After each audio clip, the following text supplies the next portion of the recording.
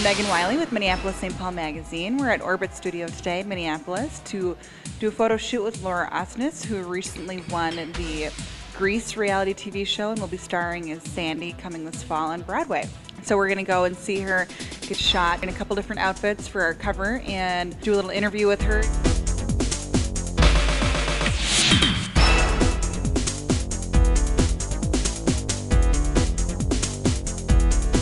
Can you give me a little background on how this whole story happened and how you got here? I was playing the role of Sandy at Chanhassen Dinner Theater and heard about NBC hosting a reality TV show called Grease, You're the One That I Want. I went out to LA, auditioned for it, made the live show, and then we performed each week live and America voted for the Sandy and Danny they wanted to win. And I made it all the way to the end and I won. So I'm so excited. I'm going to New York this summer and I can't wait. May 11th, and then we'll honeymoon and then go to New York.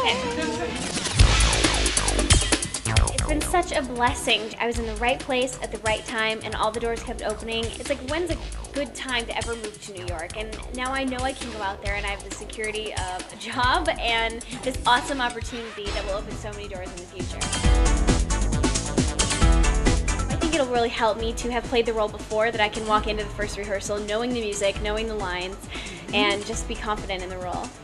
Now, is it going to be a lot different from the roles where you were playing at Chanhassen? I know that for Broadway, they are incorporating some of the songs from the movie. And in the show here, we did the musical. And a lot of people don't know that the musical is different than the movie.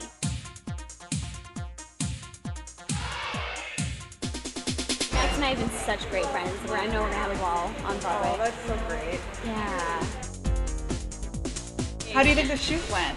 I think it went really well. It was totally fun to have, you know, my makeup and hair done and people coming in with stylish outfits being like, here you go, put this on.